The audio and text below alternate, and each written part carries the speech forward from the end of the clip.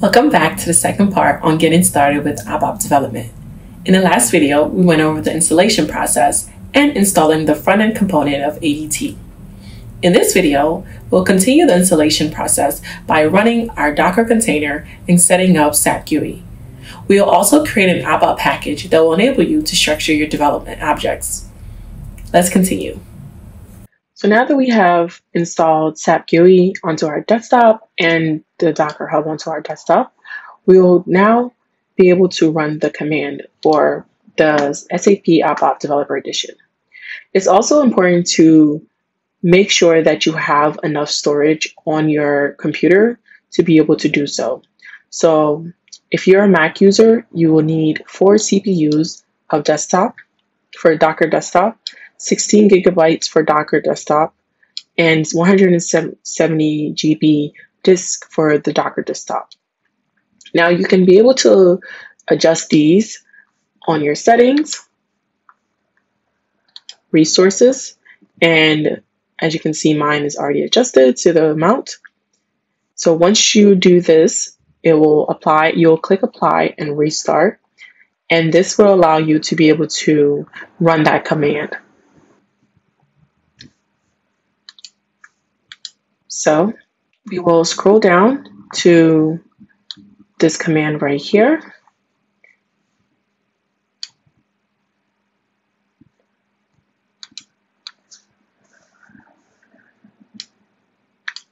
Copy it. And if you're a Mac user, you will include it onto your terminal.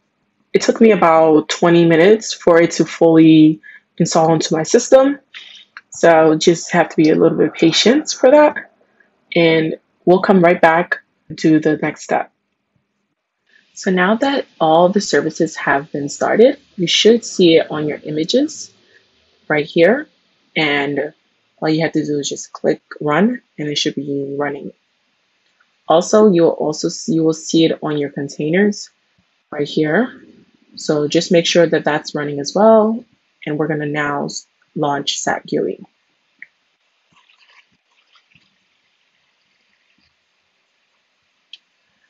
So now we have to add our connection.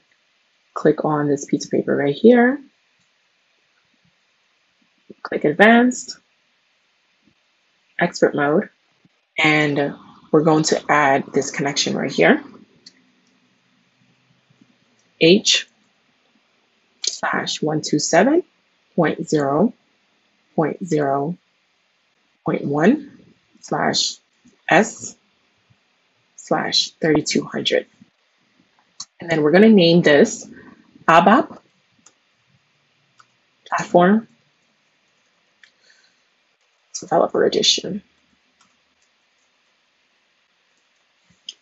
Save that. You should see it right here. Connect. And now we're going to log in.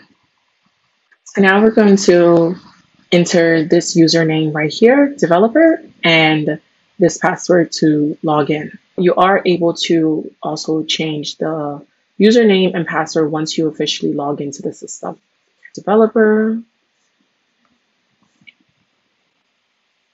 put in this one right here. I'm just going to copy it, paste it, and then we're going to log in. I just changed my username and my password. So now I'm going to log into my name and my password. Enter. And now you should see on here my name. So we're now into the system. And once we're into the system and we have all of our access, we will now launch Eclipse. So we're now in Eclipse. Before we create an ABAP package, we need to make sure that we create an ABAP project. To do so, you will simply click on the open perspective right here.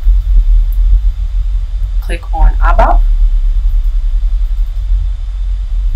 Then once you've clicked on that, you will click on create, create an ABAP project. select ABAP platform, click next, continue right here, click next. Then we'll enter our password for our SAP GUI that we just did.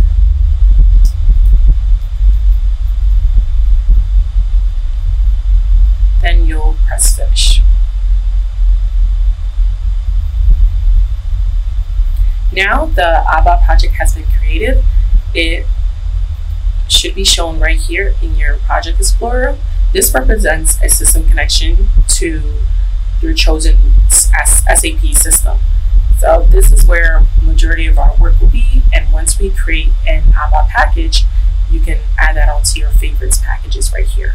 Now that we have created our ABAP project, we will now create an ABAP package. To do so, you will hover, hover over your project, your ABAP project, click New, and then go all the way down and you'll see ABAP package. Click on that. For the name, we will put in ZXX tutorials. The XX will be your initials. So I will just put in MM for me. And then for description, this will be a table tutorial. And then we'll be package type as development. Click next. For our software component, we will click home. And then our application component will be optional, but you can also put in CA for cross application, but or you could leave it blank. Then transport layer would be SAP. And then we will now click on next. You should see the transport requests right here, or if you don't, you can simply just enter a request number. Um, but as you can see, we can see our requests right here. Then we'll click on finish.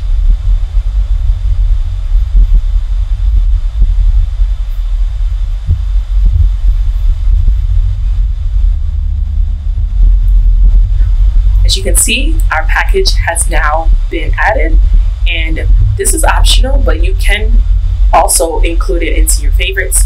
So all you do is click on favorites over here, hover it, add package, and then we'll just look it up by the name that we had. So mine will be ZMM. And then we'll add that onto our favorites. And now the package is added to the list and you're ready to start running an ABAP program. We have now got our ABAP system up and running and created our first ABAP project. In the next video of the series, we'll create and run an ABAP application. See you in the next video.